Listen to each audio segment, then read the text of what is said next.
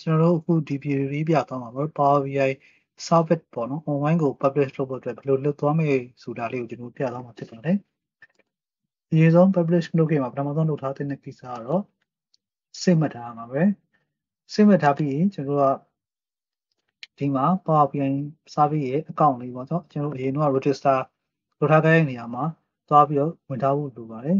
တကယ်လို့မလုပ်ထားဘူးဟေးဆိုတော့ကျွန်တော်ခဏနေရေး register လုပ်မယ့်နေရာလေးပြပါမယ်နော် အဲဝင်သွားပြီးပြီဆိုရင်ကျွန်တော်ဘာလုပ်ရမလဲဆိုတော့ publish ဆိုတဲ့ button လေးကိုကျွန်တော်ရွှေ့ပေးရပါတယ်တကယ်လို့ Power BI Pro သုံးတဲ့လူတွေဆိုရင်တချို့လူတွေဆိုတော့ more than one space တွေတီကောင်းတွေ့တွေ့ပါလိမ့်မယ်ပေါ့နော်အဲတပတ်တစ်ခုရရှိရ share လို့တော့မရပါဘူးပေါ့နော်ဆိုတော့ဒီ view account ကတော့ share လို့မရပါဘူးကျွန်တော်တော့ my wall space မှာ select မှတ်ပြီးတော့ကျွန်တော်တို့ရွေးလိုက်ပါ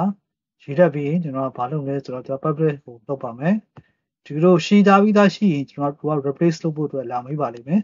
ကျွန်တော်လောတယ်မရှိသေးတဲ့အတွက်ကြောင့်မို့ဒီတိုင်းလေးပဲထားပါတယ်ဒီတိုင်းမှာ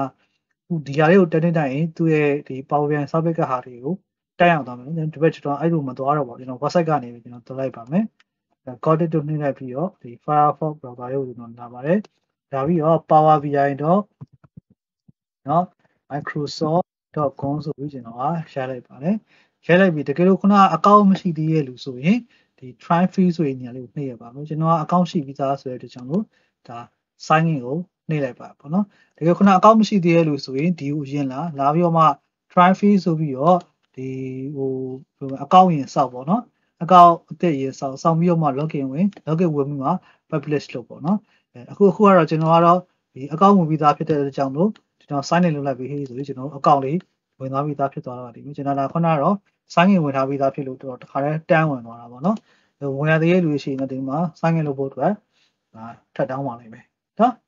တကယ်ကျွန်တော်ဒီမှာဆိုရင်ဘယ်တွေ့မလဲဆိုတော့ဒီပါအဲအခုခုကျွန်တော်ကဒီဘာလုပ်လဲတော့ကျွန်တော် refresh ချက်လုပ်လိုက်မယ်အဲဟော my workspace မှာရောက်နေ Okay ကျွန်တော် my workspace မှာကျွန်တော်ဒီမှာ ဒီဒီ my workspace ပေါ့နော်ခုနကျွန်တော်က my workspace ကိုဒီမှာ my workspace မှာဒီ dashboard လေးကျွန်တော်ရောက်နေပြီပေါ့နော်ဒီဟာလေးကိုကျွန်တော်တို့နှိမ့်လိုက်ပြီဟေးဆိုရင်သူကဒီခုနနေရာလေးပါရေကျွန်တော်ပြောမယ့်ဟေးဆိုတာလေခုနနေရာလေးမှာသူနှစ်ခုရှိတယ်တစ်ခုကဒီ my workspace မှာဒီပြထားတဲ့ဟာနှစ်ခုတစ်ခုက data set တစ်ခုက dashboard ဒီ data set ကတခြားဟာသုံးနေဒီ data set ကိုကျွန်တော်ထပ်သုံးလို့ရရပါတော့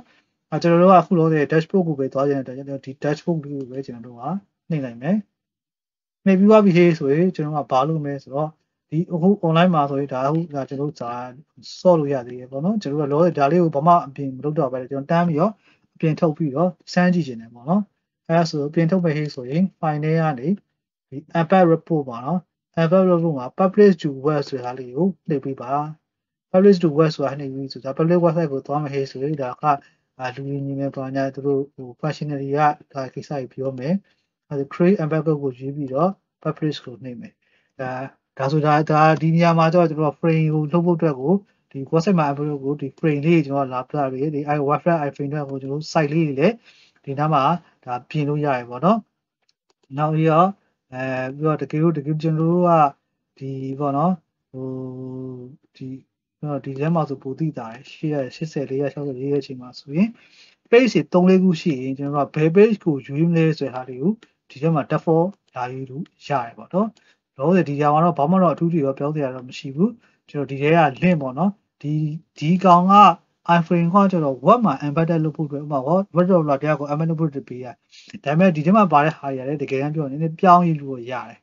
ပြဿနာတော့သိမရှိဘူး အဲပဲကျွန်တော်ကပြောသဖြင့်ဒီ link ပေါ့နော် link you can send email ဆိုဒီ link လေးပို့လိုက်ရင်ဒါများသောအားဖြင့်အလုပ်ဖြစ်တယ်ပေါ့နော်ဒီ link လေးကိုကျွန်တော် copy ကူးလိုက်တယ်